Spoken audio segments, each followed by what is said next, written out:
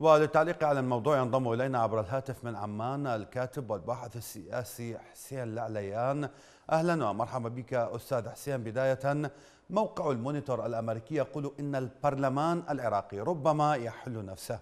إلى أي مدى ترى أن هذه الأحزاب المتكالبة على السلطة والتي تتصارع فيما بينها على المناصب والمنافع التي تأتي بعد حصولهم على تلك المناصب في حكومة علاوي والحكومات التي سبقتها. يمكن أن تفقد مقاعدها في البرلمان. يسعد مساكم ومساء مشاهديكم الكرام. حياك الله. يعني أنا لا أعتقد أنه البرلمان سيذهب بهذا الاتجاه لأن جل البرلمانيين هم ليسوا أكثر من أدوات في تنظيمات وأحزاب وتيارات وكتل هي نعم. التي تقرر مستقبل البلد منذ 16 عاما 17 عاما مضت. وبالتالي كل الأعضاء البرلمان يعني ينتمون لنخب فاسدة وأحزاب فاسدة هي التي تقرر. وزعيم الكتلة هو الأساس في هذا الموضوع. والكتل الممسكة بالعراق اليوم ممسكة بمليارات الدولارات ممسكة بإيرادات أو تتحكم بها إيرادات آه، في الجوار وفي الوضع الدولي. ولا لا أعتقد أن أحدا منهم سيذهب بهذا الخيار. يعني أنت هل وجدت أحدا ينسحب من البرلمان أو يستقيل من البرلمان تضامنا مع التظاهرات طوال فترة الخمسة أشهر الماضية؟ طيب يعني الحديث عن حل البرلمان يأخذنا أيضا إلى إلى موضوع شراء المناصب ومن ثم مقاعد البرلمان. هل تتوقع أن يقبل نائب دفع ملايين الدولارات لكي يتحصل على مقعد في هذا البرلمان أن يتخلى عنه وفقا لحديث المونيتور؟ يعني هذا هذه بديهية أكيد لن يتخلى عنها. البرلمان لن يحل نفسه سيحل رغما عن أنفه سيحل في الشارع يعني البرلمان في حالة واحدة سيحل. لما الجماهير لما المتظاهرين تخرج للشارع آه، وتفرض إرادتها على هذا البرلمان وتشكل هي الحكومة المؤقتة. اليوم في يعني آه، استعصاء في حل المشكلة في العراق. اليوم الشارع واصل إلى مرحلة يعني من المراوحة والسكون كما الحكومة واصلة إلى مرحلة لا إرادة في اتخاذ أي شيء إلا الإمساك بالسلطة.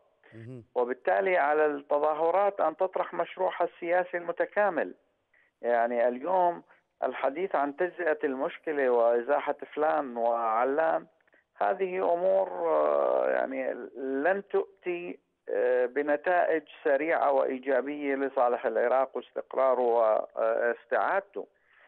يعني المظاهرات اليوم يجب أن تبحث عن آه، حلول بشكل مختلف. وبالتالي تجزئه هذه الحلول أعتقد أنه لن يكون في مصلحة المتظاهرين.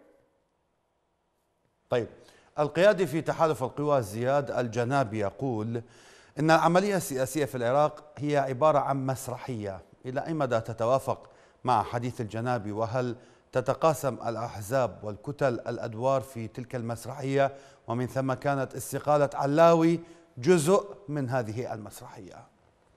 يعني هم أدرى بشؤونهم. هي مسرحية بالنسبة لنا هي مسرحية من يعني منذ بدأت. واليوم يكتشفونها بعد 17 عاما. هم هؤلاء كذابون أيضا. يعني اتحاد القوى هو ليس أقل سوءا من آه، باقي التحالفات. هو الأسوأ وهو يعني يلعب دورا في استكمال آه، تدمير البلد. يعني ليست هناك أي آه، كتلة أو قوة أو آه، تكتل معفي من تدمير العراق. نعم. البعض اليوم يحاول أن يهرول ويقفز من المركب. يدعي أنه يحاول الاصلاح يدعي تبييض صفحته لكنهم كلهم في في السوء واحد. نعم نعم. حاكم الزاملي خرج ليقول أن هناك خمسة مرشحين تدفعهم قوى سياسية بارزة لخلافة عادل عبد المهدي. هل تعتقد أن الشارع سيقبل بتلك الوجوه مرة أخرى خصوصا أن هذه الأسماء التي ذكرها الزاملي قد طرحت في, في وقت سابق؟ على سؤالك الأول اللي سألته أنه هل سيحل البرلمان نفسه؟ هل ستخرج هذه القوى بحل؟ أنا أعتقد أن هذا المشهد أن هذه القوى الممسكة بالسلطة اليوم عقيمة وليس لديها حلول وليس هناك مجال إلا أن يكنسها الشارع من ألفها إلى يائها. هذا هو حل هو الحل الوحيد للعراق. بخلاف ذلك سنبقى يعني ننزف يمينا وشمالا بلا طائل.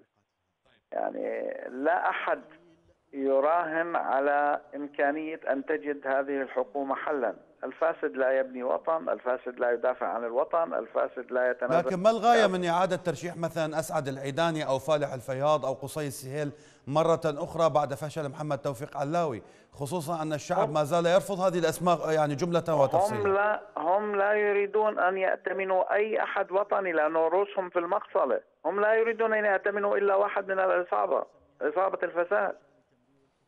كيف يأتمنون أحدا ويسلمون صلاحيات واسعة ويحظى بدعم من الشارع ليقوم بعملية آه، اقتلاعهم من السلطة؟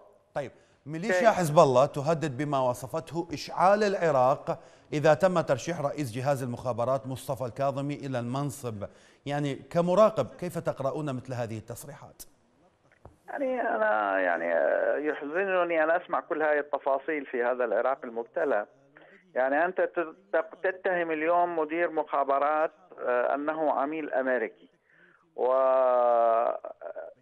قبل ذلك اتهمت آخرين تخابروا مع أمريكا. هل من أحد تم محاسبته على أساس القانون وعلى أساس القضاء؟ لماذا لا تحيلهم للقضاء إذا أنت آه، جاد؟ ثم هاي الاتهامات في العراق يعني شيء مألوف اليوم انت بتتهم جهة أو شخص بالعمالة للولايات المتحدة، ما الولايات المتحدة كلها هي من أنشأت النظام السياسي من يس من أقصاه إلى أقصاه، كلهم منتج من منتجات الولايات المتحدة الأمريكية.